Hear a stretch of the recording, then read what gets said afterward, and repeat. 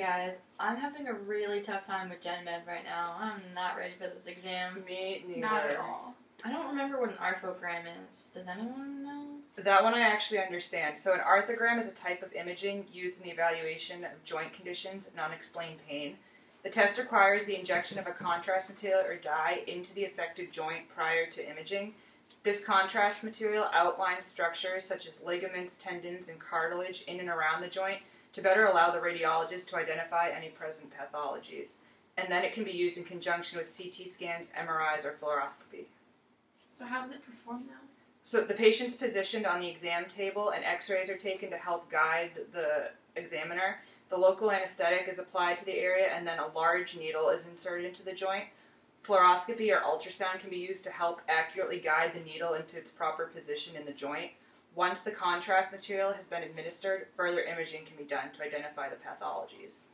But why would a doctor even use this? Well, arthrograms are most commonly used to identify abnormalities in the shoulder, elbow, wrist, hip, knee, and ankle, so all of your major joints. They're especially helpful in cases where previous imaging has been done and did not produce any definitive results.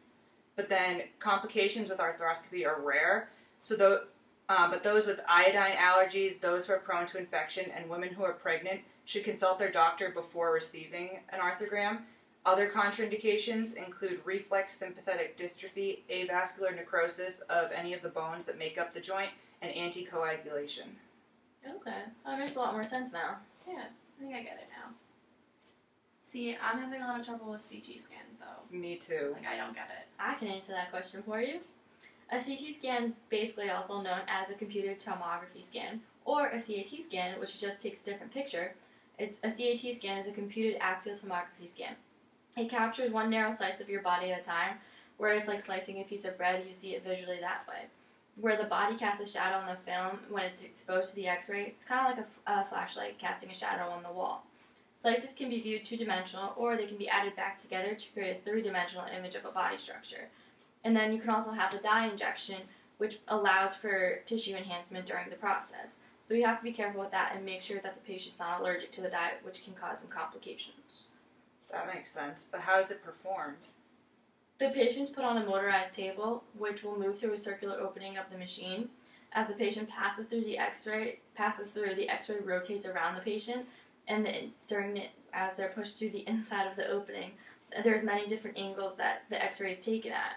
One rotation is one occurs at one second, and there's several phases that occur through each exam, which is like 15 to 20 rotations, but that's only maximum of 50 seconds.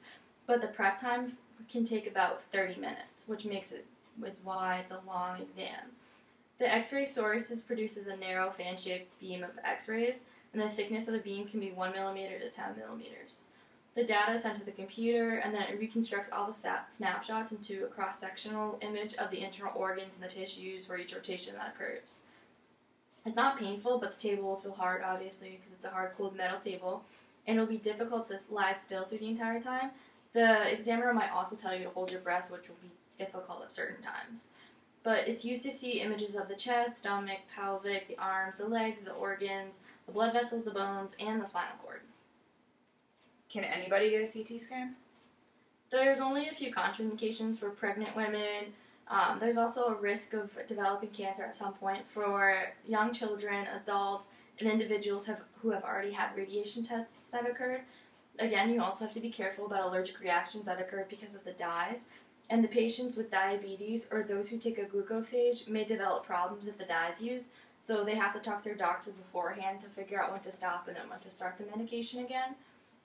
But it's also used to diagnose circulatory system diseases and conditions for CAD, blood vessel aneurysms, blood clots, spinal conditions, kidney and bladder stones, abscesses, sort of colitis, sinusitis, and injuries to the head, skeletal system, and internal organs.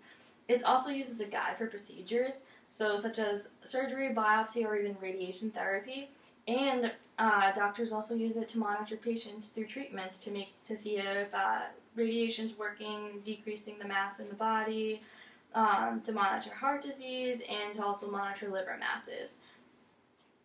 That, That- actually makes a lot more sense sense, now. Thanks. Thank you. But I'm still struggling with angiography. Do you guys know anything about that one? Okay, see that one I actually think I really understand. and it's also called an arteriography. But it's a procedure that they use this special dye along with an X-ray, CT, or MRI to see how the blood is flowing through an artery. And it's also typically done alongside a cardiac catheterization, and it's typically done in the arm, the neck, or the thigh. That makes more sense. How do they do it? Um, the patient is put on the table and they're given a mild sedative because they're awake during the entire procedure. The area that they're gonna put the catheter in is cleaned off, so either the arm, neck, or thigh, um, and they're given a local numbing agent. The catheter is passed through an artery in the area, and then it is moved up into the heart using the X-ray imager for guidance. So once in place, they release a dye, and they continue taking the X-ray, CT, or MRI to see how the dye moves through the artery, see if there's any blockages, um, any problems with blood flow, if there's any aneurysms, and it usually takes about 30 to 60 minutes. Wait, so who even gets this type of test? Um, it's usually used for people if they're having angina, which is unexplained pain or pressure in their chest. If they're having that for the very first time, they typically do this. Or if they're having angina that's become worse over time or just doesn't stop. It's also used with aortic stenosis, or if you have atypical chest pains and all the other tests they've done don't have any results. Um, you can also do it if there's abnormal heart stress test results, or if you're going to have heart surgery and you're at high risk for coronary artery disease. Cool. Makes a lot more sense now. Yeah. I'm feeling a little bit better for this test. Maybe just a little bit. Sorry, there was a bug. I had to kill it. So the contraindications um, are cardiac arrhyth- arrhythmias, if you have renal failure or kidney damage, if you have diabetes, or again, if you're allergic to the dye, you can't do it. Oh, cool.